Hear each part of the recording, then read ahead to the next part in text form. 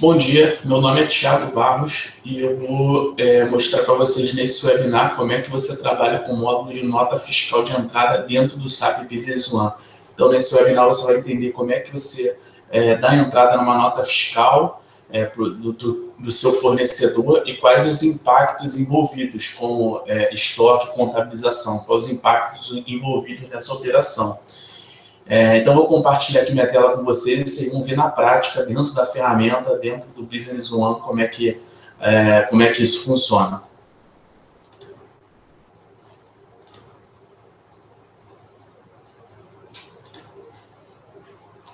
Então, eu já estou aqui dentro do meu, é, do, do, da tela inicial aqui do SAP Business One, onde estão aqui todos os módulos e eu vou mostrar aqui para vocês como é que funciona o módulo de nota fiscal de entrada. Então, o módulo de nota fiscal de entrada fica aqui dentro do, do módulo de compras. Então, entrei aqui, acessei compras, em seguida eu vou aqui em nota, é, nota fiscal de entrada. Então, esse é o formulário, esse é o documento aqui para registrar uma nota fiscal de entrada, tá ok?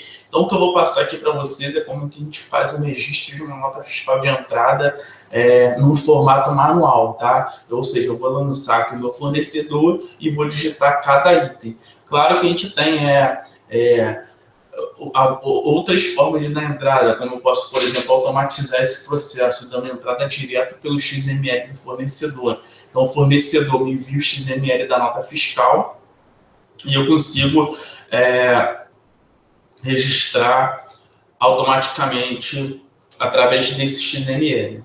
Então, no nosso caso aqui, eu vou registrar uma nota fiscal de entrada. O primeiro passo é escolher o fornecedor então, aqui, ó, no campo fornecedor, posso clicar aqui nessa opção e ele vai me abrir aqui a listagem de fornecedores, tá? Que eu posso pesquisar pelo nome ou simplesmente selecionar aqui algum dos fornecedores.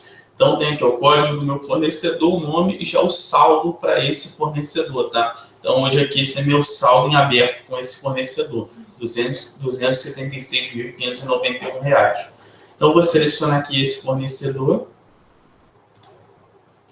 então, ele já me traz aqui os dados do fornecedor. E o próximo passo que eu tenho que informar aqui é a data de lançamento, tá? É a data que eu vou contabilizar essa nota dentro do Business One. Então, é, digamos que seja hoje mesmo, 26 de janeiro. O segundo passo é selecionar os itens que eu estou é, adquirindo, ou seja, recebi uma nota, então quais são os itens que eu, que eu recebi nessa nota.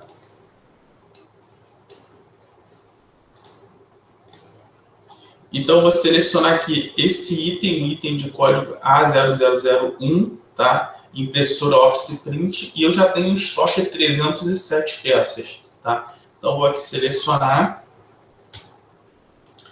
e estou adquirindo três, a quantidade, tá? Três peças, ao valor unitário de 640 reais. Aqui ele já faz a leitura, tá? Do meu último, da minha última entrada, mas eu posso alterar aqui se essa entrada for, for diferente. Aqui ele me pede a utilização, tá? A utilização é a operação que eu estou registrando nessa nota. Quero uma nota fiscal de entrada, mas qual que é a operação que eu estou realizando? Porque pode ser uma compra de ativo fixo, por exemplo, uma compra comercial, é, podem ser N, N operações aqui, tá? No meu caso aqui, eu vou, vou informar que é uma compra comercial e, de acordo com a utilização, já existe uma parametrização automática dos impostos, tá? Então, aí o SAP já consegue reconhecer que quando eu faço uma compra comercial para esse item, para esse fornecedor, eu tenho que utilizar o CFOP 1102 e ele já reconhece também aqui um código de imposto. Esse código é ICMS 18%, IPI 0%, PIS 1,65% e COFINS 7,6%, tá? Isso tudo aqui dentro do SAP Business One é tudo parametrizado, tá? E, e nesse caso aqui, para essa base aqui, tá, tá, tá parametrizado dessa forma, mas é bem flexível essa configuração. Então, selecionei aqui o item, é, quantidade 3, utilização compra comercial, é, Aqui ele já vai me dando aqui os totais desse pedido, tá? Eu tenho aqui os totais, então tem aqui, ó, é, tá me dando aqui um total de 1920. E essa aqui é a guia de lançamento de itens, a guia conteúdo. Vou passar aqui para a guia logística. Na guia logística eu tenho aqui é, os campos de endereço, tá? É, de destinatário, onde, onde eu tô, vou receber é, essa mercadoria e qual vai ser o endereço de cobrança tá, dessa mercadoria.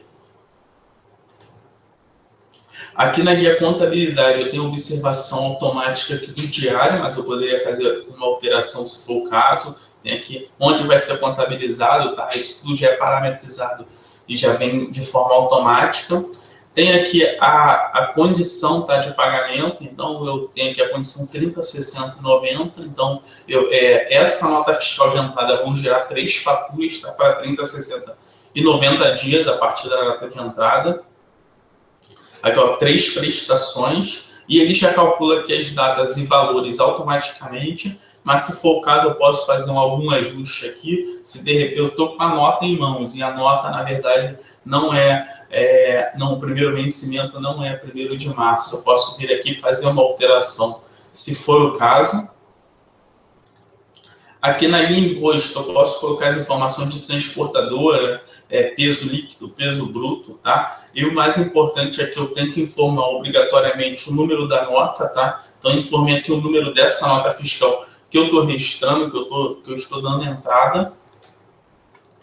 É, tenho aqui a guia NET, eu posso anexar qualquer documento nesse, nessa, qualquer documento que eu tenho no meu computador, um PDF, uma imagem. Então, se eu, por exemplo, tenho a DANF, tá? É, dessa nota, tenho a, o fornecedor me enviou a DANF, eu posso anexar aqui também dentro desse documento, dentro do SAP Business One. Então, essas aqui são as informações principais, tá? As informações principais para você conseguir adicionar uma nota fiscal de entrada dentro do SAP Business One. Então, aqui, essa é uma nota fiscal de entrada, já digitei as informações que eu preciso, tá? Então, entrei direto no, no modo de nota fiscal de entrada, digitei as informações e, ao final, basta eu clicar aqui em adicionar, tá?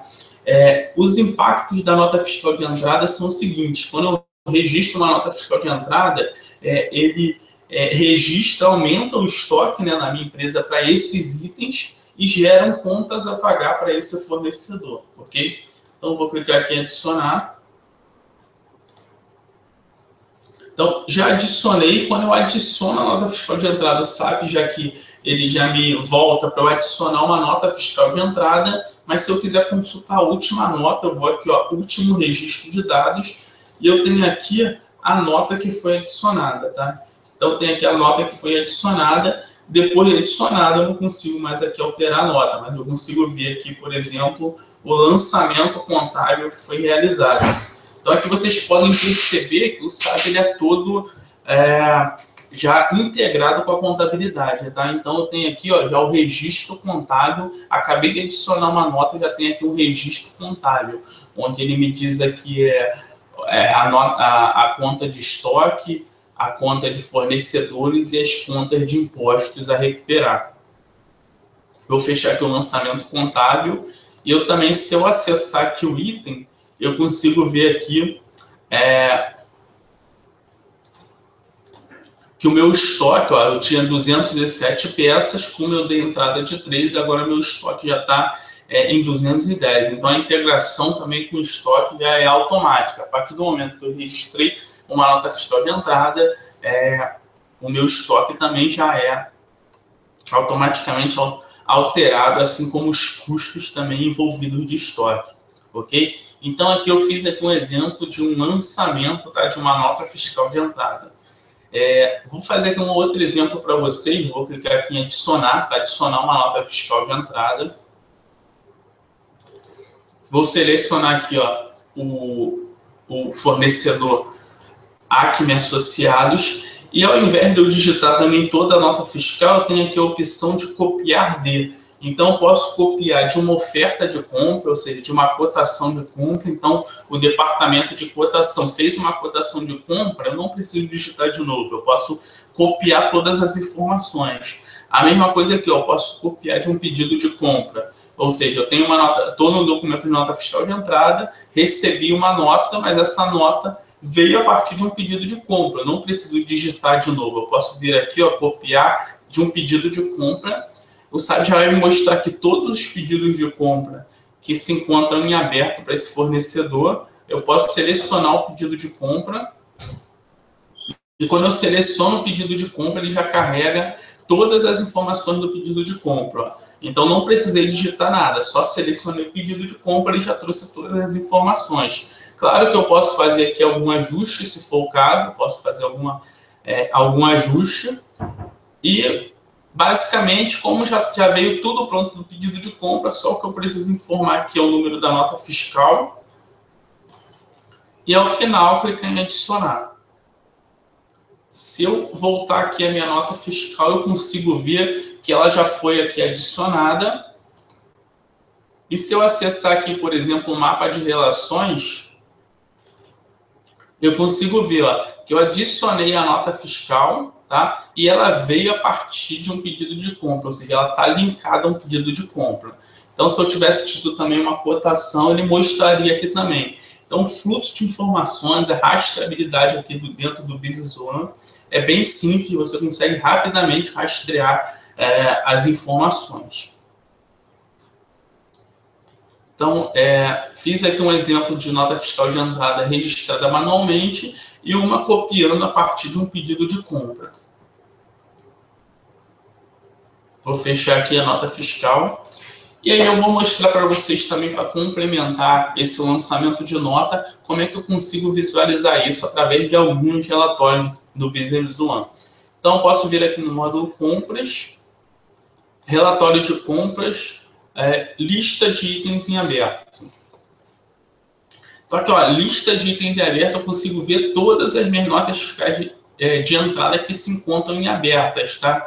É, em aberta são as que é, ainda tem contas a pagar em aberta. E aqui eu consigo fazer um filtro também por qualquer um desses campos. Eu vou clicar aqui, filtrar tabela, clicar aqui no filtro de data de lançamento. Eu quero todas as notas que a data de lançamento seja igual a 26 do 1, ou seja, tudo que foi lançado no dia 26 do 1. Então, apliquei aqui um filtro, tá? E ele me, me informa de todas as notas é, lançadas nesse período, em 26 do 1. Então, e se eu clicar aqui, ó, na seta amarela, ele já me leva diretamente para o documento. Então, é esse documento que nós acabamos de lançar, tá?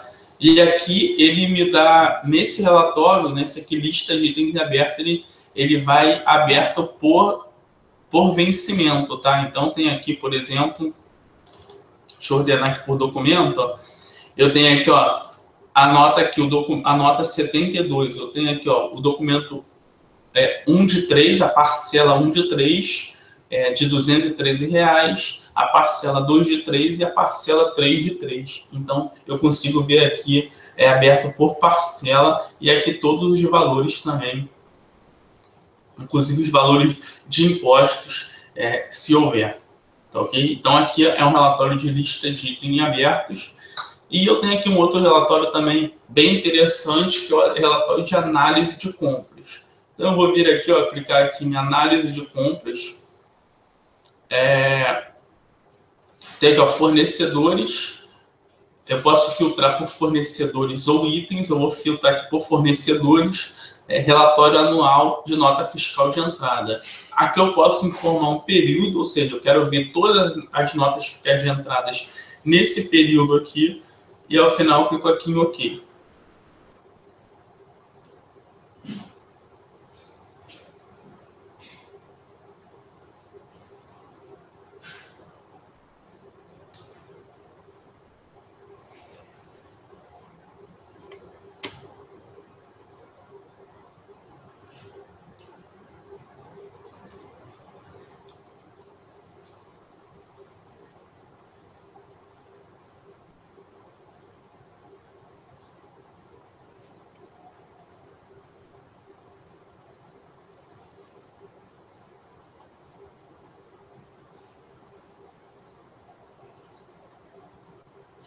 Então, acabei pegando aqui um período bem, bem grande, mas ele já processou aqui.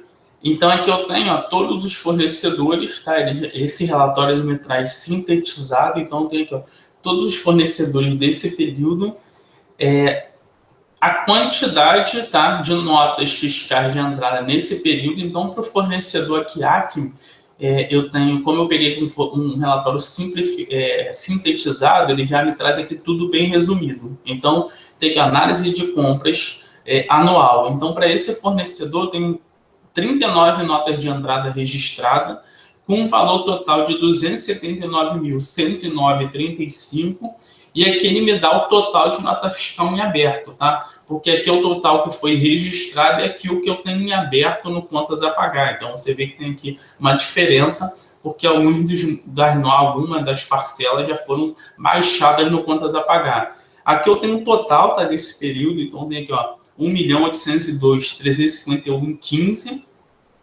E se eu quiser ver detalhado, basta eu clicar aqui, ó, dar dois cliques aqui na linha do fornecedor e eu consigo ver detalhado tá, cada nota para esse fornecedor. Então, eu consigo ver aqui cada nota, cada valor para esse fornecedor, com a respectiva data de lançamento e data de vencimento.